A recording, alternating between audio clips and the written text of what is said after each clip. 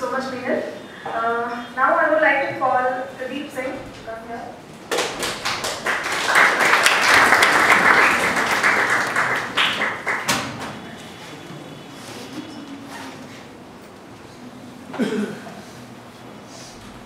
माना अगम अगाध सिंधु है संघर्षों का पार नहीं है माना अगम अगाध सिंधु है संघर्षों का पार नहीं है किंतु डूबना मझधारों में साहस हो स्वीकार नहीं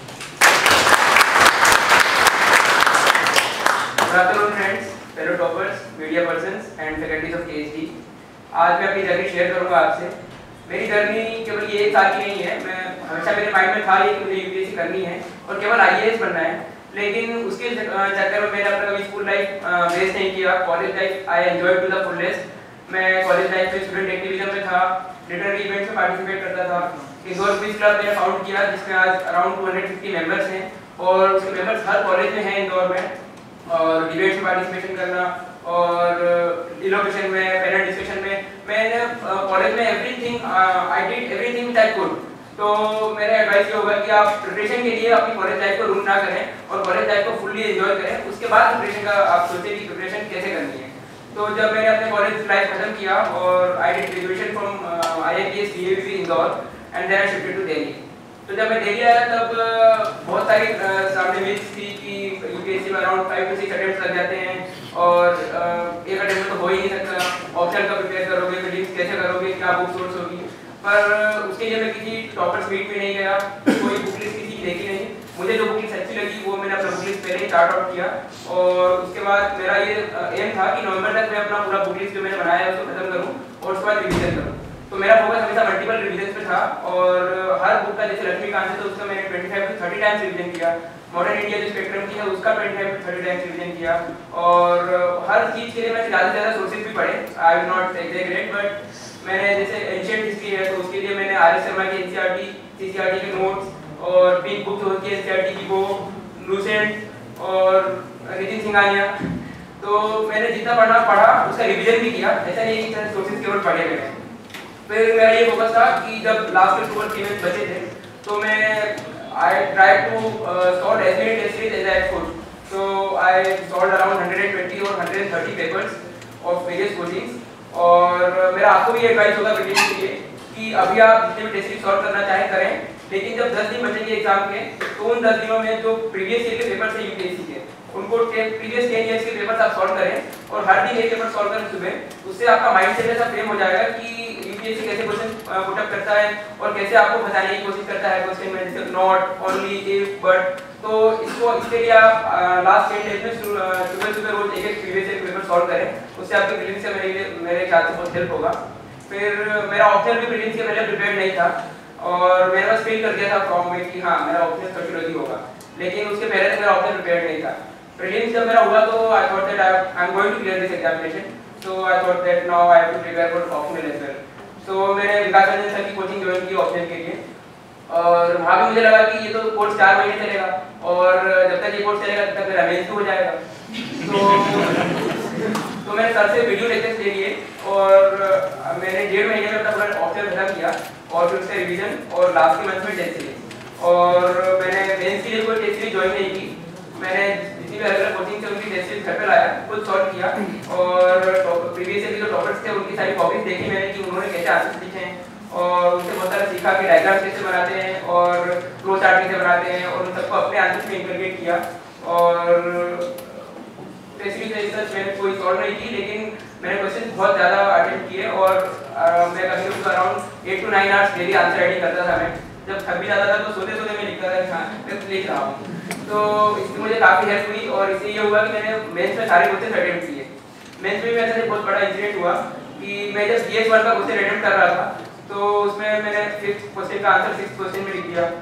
फिर उसको कट किया तो वो क्वेश्चन मेरा पूरा वेस्ट हुआ, उसको फिफ्थ में लिखा। फिर सेवनटीन का आंसर मैंने गलती से एटीन में लिख दिया। और फिर मैंने उसको काटा और फिर सेवनटीन में लिखा। तो अब लिटरली क्राइम मैं इधर उधर देख रहा था कि बाकी सबके सारे क्वेश्चन अटेम्प्ट हो गए और मेरे दो तीन क्वेश्चन तो ऐसे वेस्ट हो चुके हैं। मैं मुझे लगा कि अब तो मेरा गेम ओवर है, अब तो मैं ये एग्ज़ाम क्लियर नहीं कर पाऊँगा। तो मैंने कैसे करके 90 और 20 का आंसर बस ऐसे लिखा मैंने और मैं बाहर आ गया। तो बाहर आकर बहुत रो रहा था, मैंने अपने भैया से बात की, पापा मम्मी से बात की, बोला कि अब मैं टू थ्री फोर का पेपर देने नहीं वाला, मैं आ रहा हूँ इंदौर वापस। तो उन्होंने बोला बोला कि ये खराब गया तो गया बाकी पेपर दे दो और उसके बाद आ जाओ। कोई टेंशन नहीं अगला अटेम्प्ट दे देना। तो मैंने उससे ठीक है। फिर मैंने और एनर्जी अपने अंदर वो वो की और उसके बाद मैंने नेक्स्ट पेपर उसका नेक्स्ट पेपर दिया। और जब मैं मार्क्स आया तो मैंने देखा कि जीएस में मुझे 105 आए जो काफ़ी अच्छा स्कोर है। तो वहाँ मुझे लग रहा था कि मेरा वो पेपर बेकार चला गया पर बाहर आने के बाद मुझे मालूम चला कि पेपर तो अच्छा गया गया तो आप सबके लिए भी मेरे पास दो तीन मैसेजेस हैं जो मुझे इस अपनी छोटी सी जर्नी में मेरी एज तो आपसे काफ़ी कम है। I am 22 years old so I don't think that I am capable of uh, giving you any advice. But still I have something for you. The first thing is that never underestimate yourself. आप क्या हो आपका क्या potential है आप क्या कर सकते हो और आप क्या अपने लाइफ में हासिल कर सकते हो ये आपको नहीं पता। तो एक बार प्रीलिम्स दे के आओ, तब आपको पता चलेगा कि हाँ आपका पोटेंशियल क्या है। अभी आप बहुत डरे हुए माहौल में हो। आपको यहाँ ऐसा हुआ, बनाया हुआ है कि नहीं, ये एग्ज़ाम एक अटेम्प्ट में क्लियर की नहीं जा सकती। पाँच अटेम्प्ट से अटेम्प्ट फाइव ईयर प्लान लगता है इसमें। लेकिन ऐसा कुछ नहीं है।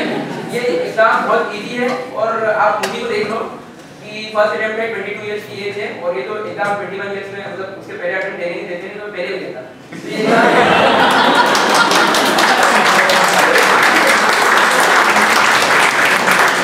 एग्ज़ाम बहुत इजी है it can be cracked very easily बस ये है कि आप यहाँ पे जो मिथ बनाए हुए उसको ना फंसे और अटेम्प्ट अच्छे से करें और सेकंड थिंग ये है कि always keep the possible it done तो आप प्रीलिम्स क्लियर करोगे, तब आपके अंदर ऐसा आएगा कि यार मेंस लिखते हैं। मेंस भी आराम से क्लियर हो जाएगा। उसके बाद आप इंटरव्यू सोचोगे कि यार इंटरव्यू में कैसे क्लियर करेंगे इंटरव्यू भी क्लियर होगा। तो एग्ज़ाम तो इजीली क्लियर हो जाएगा, इसकी कोई टेंशन मत लो। लेकिन अपना फोकस और डिटरमिनेशन डिटरमिनेशन में नहीं रूथलेस डिटरमिनेशन ऐसा होना चाहिए कि आप कोई चीज़ आप आप अगर कोई एम बना रहे हो अपनी लाइफ में तो ये होना चाहिए कि इसको आप कैसे भी हासिल करें। और अगर एक साल आप फुल ईयर प्रिपरेशन को दे रहे हो तो उसके अलावा दूसरी कोई चीज़ आपकी लाइफ में होनी नहीं चाहिए। मैंने फेसबुक पे मेरे around four thousand five hundred friends थे। व्हाट्सएप पे भी काफ़ी थाउज़ेंड के कॉन्टेक्ट थे क्योंकि मैं स्टूडेंट एक्टिविज्म में था। और इंस्टाग्राम पे फॉरवर्ड थे, लेकिन मैंने सब अपने अकाउंट डीएक्टिवेट किए और डेढ़ साल तक उन अकाउंट्स को ओपन नहीं किया। तो आप अकाउंट चला भी सकते हो, लेकिन मेरा सजेशन होगा कि जो डिस्ट्रैक्शन से जो आपकी, जो चीज़ आपको डिस्ट्रैक्ट कर रही है उनको ना करें और जो भी डिस्ट्रैक्शन है उनको अवॉइड करें। तो एक मैंने एक वो भी बना रखा था, अपना एक कीवर्ड है मेरा टी एल ए एम ये टी एल ए एम मैंने प्रीलिम्स के पहले बनाया था। मेरे फ्रेंड्स पूछते थे कि इसका मतलब क्या है मतलब क्या है? तो मैंने कहा था कि मेरा एग्ज़ाम जब क्लियर हो जाएगा तो बताऊँगा। तो इस टी एल ए एम का मतलब है टॉक लेस एक्ट मोर तो बातें काम करो कि मैं ये कर लूँगा, वो कर लूँगा एग्ज़ाम क्लियर कर लूँगा, ये आज खत्म कर दूँगा नितिन सिंघानिया कल खत्म एनसीईआरटी परसों खत्म। तो बातें कम करो, काम ज़्यादा करो। क्योंकि काम करने का ज़्यादा टाइम है एक साल में कुछ ज़्यादा हो नहीं सकता लेकिन जितना हो सकता है आप करने की कोशिश करो। और would like to say at last that, बाधाएँ आती हैं, आए घिरे प्रलय की घोर घटाएँ, पांवों के नीचे अंगारे सर पर यदि ज्वालाएँ निज हाथों में आग लगाकर हँसते हँसते चलना होगा, कदम मिलाकर चलना होगा, कदम मिलाकर चलना